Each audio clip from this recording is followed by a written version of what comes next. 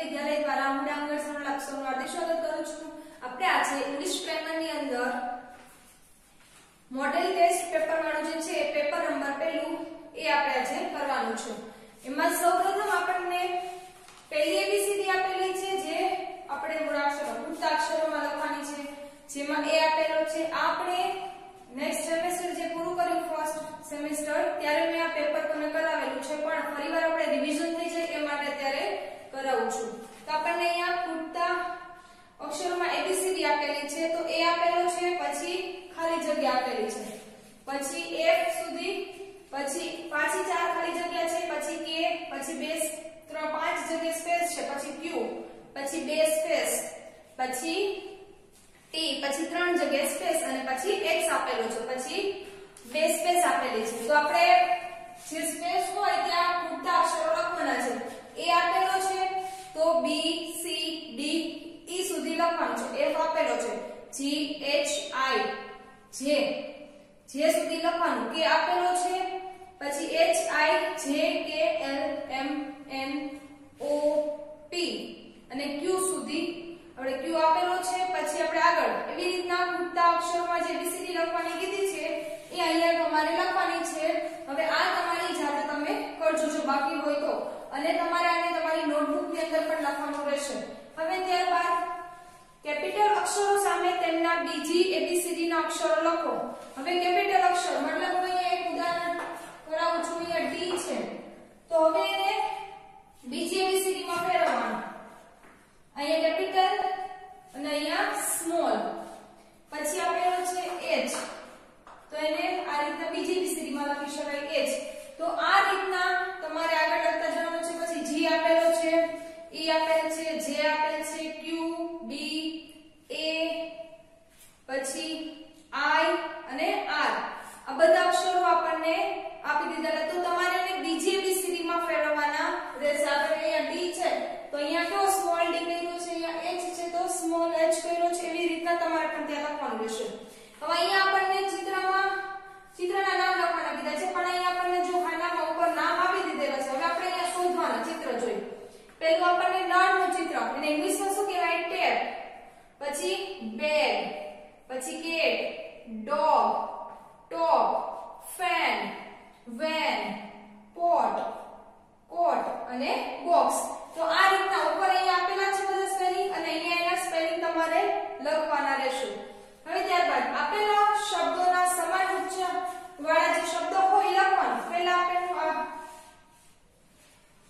Main છે, van છે, gap છે, આવા બધા આપણને શબ્દ. પેલું ગેપ આપેલું છે તો આપણે એના જેવા વચ્ચે એ આવતા હોય એવા શબ્દ. તો મેન, એમ, એ, એન, પછી વી, એ, એન, પછી બાજુમાં ઓ છે. તો મોપ મોપ છે તો બીજું વચ્ચે ઓ આવતા હોય એવા શબ્દ. તો છે રોડ, પછી લોગ. આ બધા વચ્ચે ઓ આવે છે એવા સ્પેલિંગ તમારે અહીંયા લખવાના છે.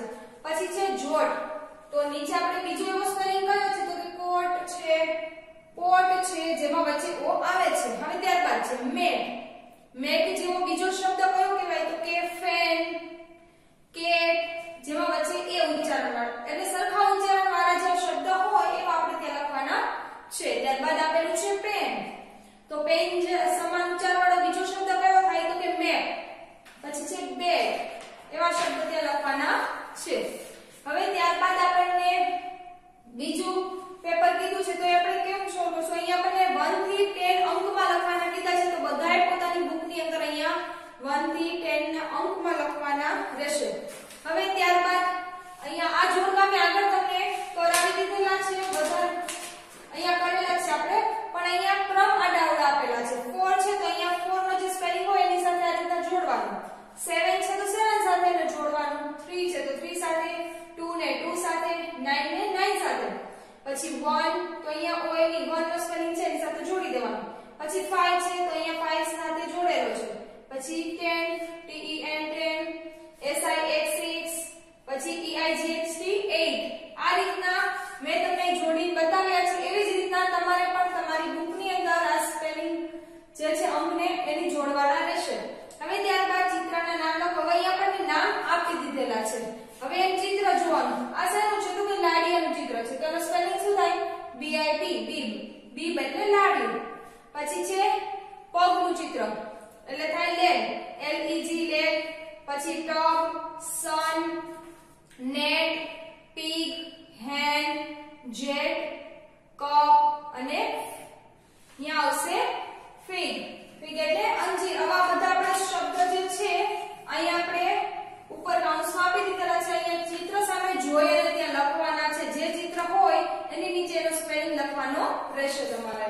હવે ત્યારબાદ આપેલા શબ્દોના સમાન શબ્દ આપણે આગળ જેમ જોયું છે એવી જ રીતના અહીંયા આપેલું છે ડેમ તો ડેમ જેવો બીજો થાય લેગ પછી જેટ કયા સમાન ઉચ્ચારવાળા? એક સરખા ઉચ્ચારવાળા. પછી છે ગમ તો અહીંયા આવશે ક વચ્ચે યુ આવે છે બોલો જેને સમાન શબ્દ હોય ટબ આ બધા એક સરખા છે એવી જ રીતના ફિન તો ફિગ બીબ સેમ ઉચ્ચારવાળા બધા સ્પેલિંગ લખવાના હોય છે પછી છે ટોય તો આવશે બોય છે પછી